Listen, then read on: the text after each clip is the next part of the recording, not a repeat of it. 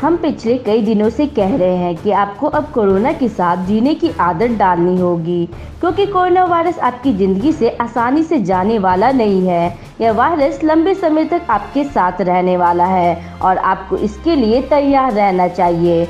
इसी बात पे अब डब्ल्यू ने भी मोहर लगा दी है। डब्ल्यू ने आशंका जताई है कि यह वायरस एक महामारी के तौर पे लंबे समय तक इंसानों के बीच रह सकता है और यह भी हो सकता है कि यह वायरस कभी पूरी तरह से खत्म ही ना हो। डब्ल्यूएचओ ने इसकी तुलना एच से करते हुए कहा कि एच की तरह इंसानों को इस वायरस के साथ भी जीने की आदत डालनी होगी। अब लोगों को कई तरह की सावधानियाँ बरतनी होंगी और इस वायरस की वैक्सीन मिल जाने के बाद भी आगे का रास्ता आसान नहीं होगा।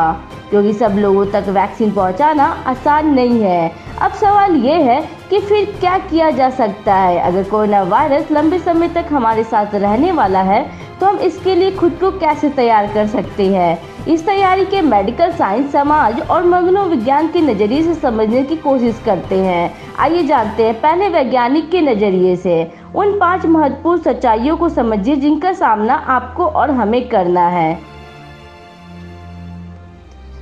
पहली सच्चाई यह है कि यह वायरस अब भी पूरी दुनिया में तेज़ी से फैल रहा है। पूरी दुनिया में 46 लाख से ज़्यादा लोग इससे संक्रमित हो चुके हैं और करीब तीन लाख सात हज़ार से ज़्यादा लोगों की मौत हो चुकी है। बीमार लोगों का इलाज अलग अलग तरीकों से किया जा रहा है, लेकिन अभी तक इसका कोई पुख्ता इलाज नहीं ढूंढा जा सका। दूसरी सच्चाई यह है कि इस समय दुनिया में लाखों या शायद करोड़ों लोग ऐसे हैं जो संक्रमण का शिकार हो चुके हैं, लेकिन उनमें कोई लक्षण दिखाई नहीं दे रहे ऐसे लोगों को एंसीपोटोमेटिक पेशेंट कहा जाता है। तीसरी सच्चाई यह है कि जो लोग संक्रमण का शिकार है और उनमें वायरस की पुष्टि हो चुकी है, उनमें से करीब तीन से चार प्रतिशत लोगों की जान खतरे में है। यानी इस वायरस के मामले में मृत्यु दर फ़िलहाल तीन से चार प्रतिशत है, लेकिन अलग अलग देशों में इसकी स्थिति भी अलग अलग है। उदाहरण के लिए, बेल्जियम की स्थिति सबसे ज़्यादा खराब है। बेल्जियम में कोरोना वायरस के मामलों में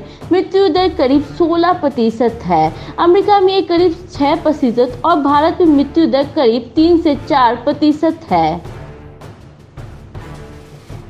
चौथी सच्चाई यह है कि गंभीर रूप से बीमार मरीजों की संख्या भी अलग अलग देशों में अलग अलग है।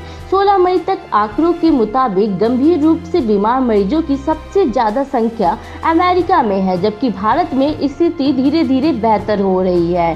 पिछले हफ़्ते तक भारत में कोरोना वायरस के कुल मरीजों में से करीब 9 प्रतिशत लोग गंभीर रूप से बीमार थे, जबकि अब इनकी संख्या लगभग आधी रह गई। अब भारत में कोरोना वायरस के सिर्फ़ चार आठ प्रतिशत मरीजों की स्थिति गंभीर है। पांचवी सच्चाई यह है कि कोरोना वायरस की वैक्सीन का इंतज़ार अभी बहुत लंबा है।